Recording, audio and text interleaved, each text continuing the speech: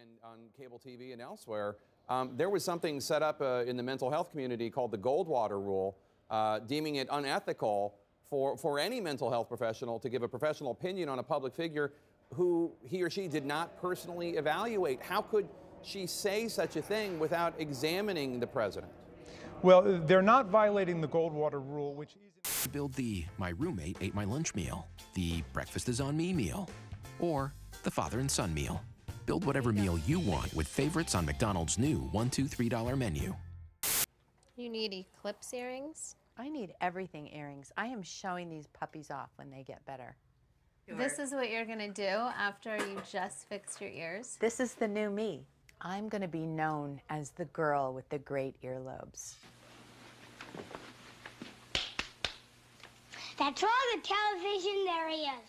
Oh, it was wonderful, Anthony. Wasn't it, everyone? Oh, that was real good. Wasn't Anthony's television wonderful tonight? Oh, it's just the best. It was much better than the old television.